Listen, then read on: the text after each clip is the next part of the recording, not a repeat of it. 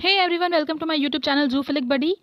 In this video, I am going to discuss regarding the specimen cancer, cancer crab. First of all, we should know the systematic position of cancer.